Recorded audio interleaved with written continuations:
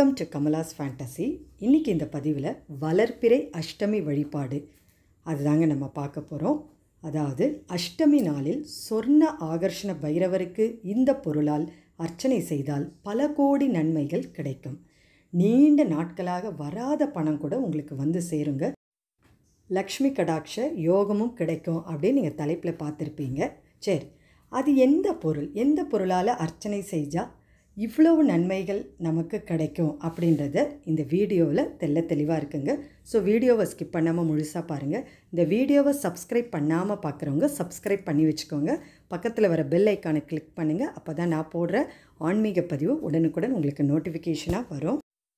வளர்ப்பிறை அஷ்டமி இந்த மாதம் அதாவது ஜூன் ரெண்டாயிரத்தி இருபத்தி மூணு எந்த நாளில் வருது அப்படின்னு நீங்கள் பார்த்தீங்கன்னா இருபத்தி ஆறு ஆறு ரெண்டாயிரத்தி இருபத்தி மூணு திங்கட்கிழமை ஆணி பதினொன்று. அந்த அன்னைக்கு தாங்க வருது.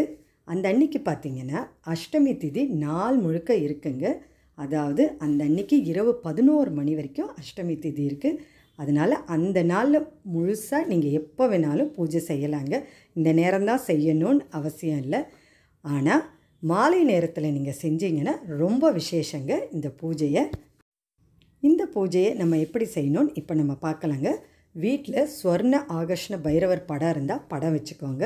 அப்படி படம் இல்லைன்னா மகாலட்சுமி தாயாரோட படத்தையே நீங்கள் வச்சு பூஜை செய்யலாங்க.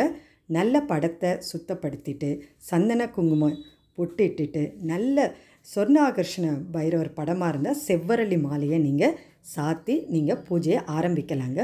பூஜை செய்யும்போது இந்த பொருளால் அர்ச்சனை செய்யணும் அப்படின்னு நான் சொல்லியிருந்தேன். அது எந்த பொருள் அப்படின்னு நீங்கள் பார்த்தீங்கன்னா நூற்றி எட்டு காயின்ஸு தாங்க. நீங்கள் ஒரு ரூபா காயின்ஸோ அஞ்சு ரூபா காயின்ஸோ பத்து ரூபா காயின்ஸோ எது வச்சுருந்தாலும் பரவாயில்லைங்க. நூற்றி எட்டு காயின்ஸாக அது இருக்கணுங்க. அதை கையில் வச்சுட்டு ஒவ்வொரு காயின்ஸாக நீங்கள் சொர்ணாகர்ஷ்ண பைரவர் படமாக இருந்தாலும் அவர் பாதத்தில் சமர்ப்பீங்க. இல்லைன்னா மகாலட்சுமி தாயாரோட பட படமாக இருந்தால் அவங்களோட பாதத்திலே இதை சமர்ப்பிக்கலாங்க.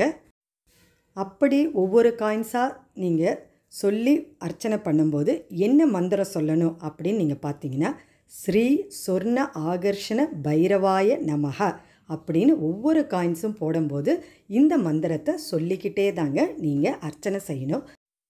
இந்த மந்திரம் பார்த்தீங்கன்னா ரொம்ப விசேஷமான சொர்ண ஆகர்ஷண பைரவரோட மந்திரங்க. இந்த நூற்றி எட்டு தடவை சொல்லி அர்ச்சனை செய்கிறது ரொம்ப விசேஷங்க. பூஜை முடிஞ்ச உடனே அதாவது நெய்வேத்தியம் என்ன வைக்கணும்னா நீங்கள் இனிப்பு நெய்வேத்தியம் இனிப்பு பலகாரம் எது வேணாலும் நீங்கள் நெய்வேத்தியமாக வச்சு தீப தூப ஆரத்தி காட்டி நீங்கள் பூஜையை நிறைவு செய்யலாங்க. இந்த நூற்றி எட்டு காயின்ஸ் பூஜை பண்ணிங்க இல்லைங்களா அதை நீங்கள் மறுநாள் எடுத்து பீரோவில் பணம் வைக்கிற இடத்துல நீங்கள் வச்சிங்கன்னா உங்களுக்கு பணம் வந்து கொண்டே இருக்குங்க. அதே மாதிரி தொழில் செய்கிற இடத்துலையும் நீங்கள் இந்த பூஜை செஞ்சீங்க இல்லைங்களா இந்த காயின்ஸ் அங்கேயும் நீங்கள் கொண்டு போய் வச்சுக்கலாங்க. ரொம்ப விசேஷமானதுங்க. இந்த பூஜையை பார்த்தீங்கன்னா தொடர்ந்து ஆறு வாரங்கள் நாற்பத்தெட்டு நாட்கள் விரதம் இருந்து தினமும் இந்த நூற்றி எட்டு முறை ஸ்ரீ சொர்ண ஆகர்ஷண பைரவாய நமக. இந்த மந்திரத்தை நீங்கள் மனசில் டெய்லி ஜெபிக்கணுங்க. அப்படி ஜெபிச்சிங்கன்னா உங்களுக்கு வரக்கூடிய பலன்கள் என்னன்னு இப்போ நம்ம பார்க்க.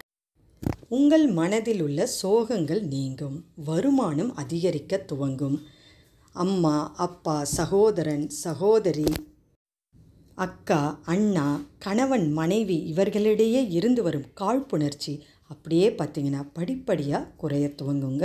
அவ்வளோ சக்தி வாய்ந்த மந்திரம் தாங்க இந்த சொர்ண ஆகர்ஷண மந்திரம். அது மட்டும் இல்லாமல் இந்த காயின்ஸ் வச்சு பூஜை செய்கிறனால உங்களுக்கு நீண்ட நாளாக பணம் வரலை அப்படின்னு நீங்கள் நினச்சிங்கன்னா இந்த பூஜையை நீங்கள் செஞ்சிங்கன்னா கண்டிப்பாக வராத பணம் கூட வந்து சேருங்க. இந்த பதிவு உங்களுக்கு ரொம்பவே பிடிச்சிருந்தால் லைக் பண்ணுங்கள் உங்கள் உற்றார் உறவினருக்கு ஷேர் பண்ணிவிடுங்க. அடுத்த ஒரு நல்ல ஆன்மீக பதிவோடு உங்களை சந்திக்க வரேன்.